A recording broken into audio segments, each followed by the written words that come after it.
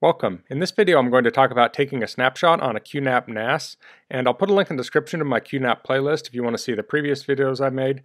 Also, if you like this video and you're looking to purchase a QNAP, I'll put a link in the description to the equipment I'm using. If you use those links, it helps me out a little bit and doesn't cost you anything extra. So in a previous video, I set up a thick volume on the QNAP. So now I'll go into storage and snapshots. On the left here, I'll click on storage snapshots. I'll select our Data Vol 1 volume that I made. I'll click on the snapshot menu here and I'll say take a snapshot. It's going to say after taking a snapshot, the read-write performance of the volume or LUN may be permanently decreased by 5 to 30%. I'll say OK. It's going to say what is the snapshot name and it's just using the GMT date and time. And it says keep this snapshot permanently so if I click on the little eye here, it says if enabled, snapshots might cause pool space to run low, leading to disruption in storage services.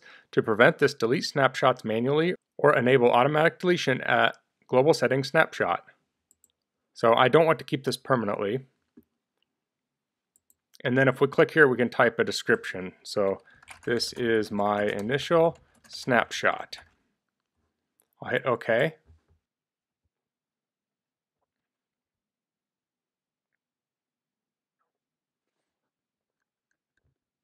Okay, so it says the snapshot has been created. Uh, hit OK. So what we did there is we captured a moment in time on this storage volume. So if I go, I'll minimize this. I'll click on File Station. And on under Public here, I have this uh, photo called reflections.jpg. I'll right click on this and I'll say delete. I'll say delete permanently.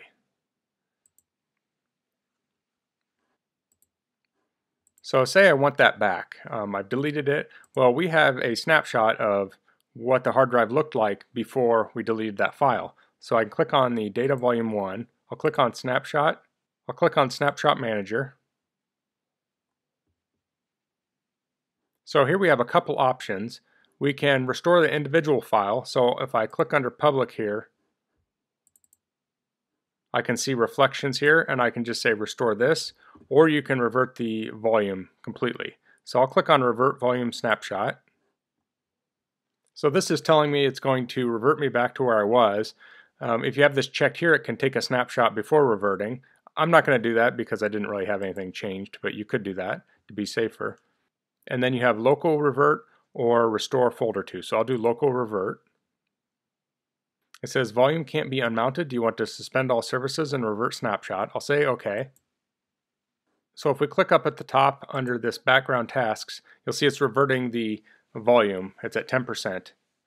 So it's important to note that this would be kind of dumb to re revert the whole volume for one file. I'm just doing it as an example.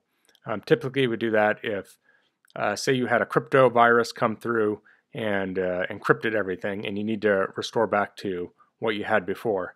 Um, it screwed everything up. Then you would revert back to your original snapshot. Now, if I just wanted to get this one file, I would probably tend to click on that and just restore the one file.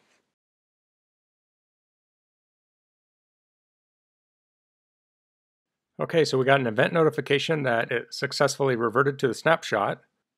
So I'll hit OK here. I'll close this down. It says the snapshot schedule for the volume LUN is disabled. I'll just hit OK. I'll close this down. I'll go into File Station. And if I'm in public here, you see reflections is back.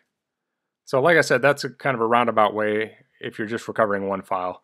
But if you had a whole directory of files or things like that, you can roll back to those. So it's a nice data protection tool.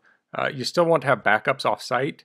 Um, like a fire could happen and just take out the whole NAS device or whatever. There's many different things that could happen.